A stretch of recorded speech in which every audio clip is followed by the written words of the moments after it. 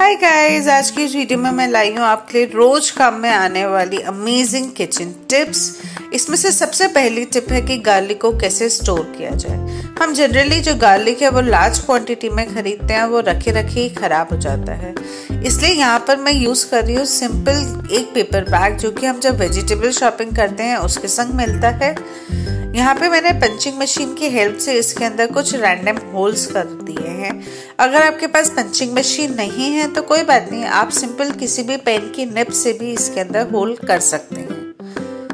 ये देखिए, यहाँ पर मैंने एक लेयर में फोल्ड करके एक बार और पंचिंग मशीन यूज़ करी है, और जो हमारा गार्लिक रखने का बैग है, वो बनके रेडी हो चुका है विद इन नो टाइम अब आप इसके अंदर गार्लिक को रखिए और जो आपका गार्लिक है, बहुत ही लंबे समय तक फ्रेश रहेगा क्योंकि इसके अंदर एयर सर्कुलेशन जो है, वो चलता रहेगा। टिप नंबर टू है, वो बहुत ही हेल्पफुल है कि गार्लिक को कैसे पील किया जाए। गार्लिक को पील करने के लिए सबसे पहले हम जो गार्लिक की गांठ होती है, उसको इस तरीके से ब्रेक करके ओपन कर लेंगे और जो उसका सेंटर पार्ट होता है, उसको निकाल के डिस्कार्ड कर देंगे।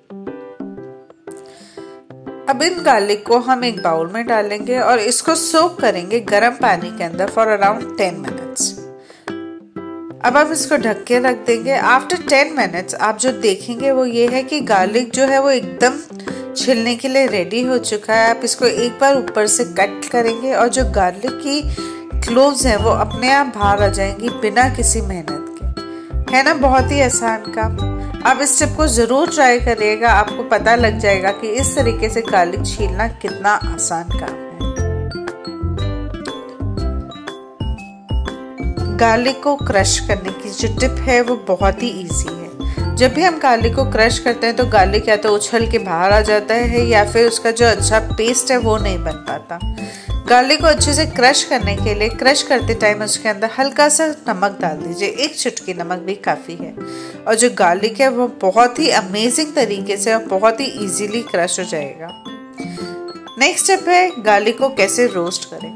जब भी हम ग्रेवी के लिए गार्लिक को भूनते हैं तो उसको क्रश करने के बाद जब हम उसमें ऑयल में डालते हैं तो वो वहीं चिपक के रह जाता है या फिर जलने लगता है।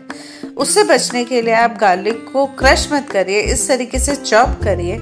इससे जो गार्लिक है, उसके जूसेस रिलीज़ नहीं होते और गार्लिक बहुत ही अच्छे से रोस्ट होता है और बहुत ही अच्छा फ्लेवर देता है।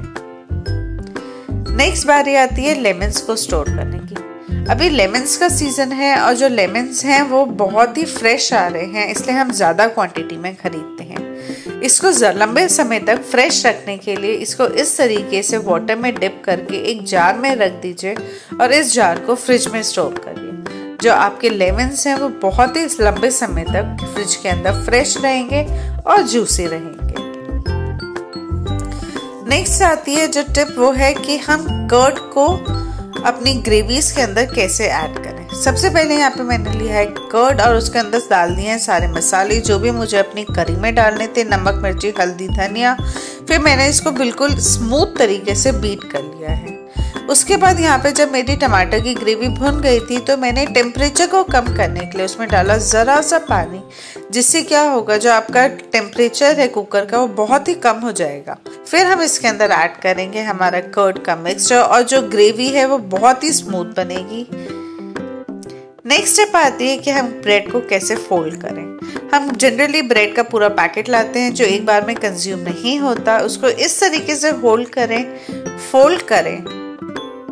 और फिर यहाँ पे जो ऊपर का पार्ट होता है, उसको नीचे की तरफ़ पुल कर लें ये देखिए, इस तरीके से करने से जो आपका ब्रेड है, वो एकदम सील हो जाता है बिना किसी क्लिप और रबर की हेल्प से, क्योंकि हमने फोल्ड किया था, जो ब्रेड है, ऊपर से भी ड्राई नहीं होगी। नेक्स्ट स्टेप आती है कि अनियन को कैसे पील करें। अनियन को पील करते समय आइस में बहुत ही टेयर्स आते हैं। उससे बचने के लिए आप सबसे पहले अनियन को हाफ़ में कट करें और उसको वाटर में डिप कर दें फॉर अराउंड टेन मिनट ऐसा करने से जो अनियन का तीखापन होता है, वो निकल जाता है और जो अनियन है, वो पील भी बहुत ही आसानी से हो जाते हैं। ये देखिए with in no time with with no tears जो आपका अनियन है, वो पील हो जाएगा। जब भी आप अनियन को पील करें, उसका सेंटर वाला पार्ट ज़रूर निकाल दें it is really bad for your health ये देखिए, जो हमारा अनियन है, वो पील हो चुका है और आँख में एक आँसू भी नहीं है ना कमाल की टिप नेक्स्ट बारी आती है कर्ड को सेट करने की विंटर्स में। जब भी आप कर्ड को विंटर्स में सेट करें तो कैसरॉल के अंदर सेट करें। फिर उसके अंदर जो स्टार्टर डालें, थोड़ा सा ज़्यादा डालें। इससे क्या होगा, जो दही है वो एकदम थिक सेट होगा। बस फिर हम इसको कवर करके रख देंगे। और इसको कवर करने के लिए यहाँ पर मैं किचन टाल यूज़ कर रही हूँ। और इसको मैं रखूँगी एक ऐसी कबर्ड के अंदर जो कि कबर्ड मेरी ज़्यादा टाइम नहीं खुलती। तो आप किचन का कोई भी कैबिनेट यूज़ कर सकते हैं। और मॉर्निंग में आप देखेंगे जो कर्ड है वो एकदम थिक सेट हुआ है thank you so much for watching please subscribe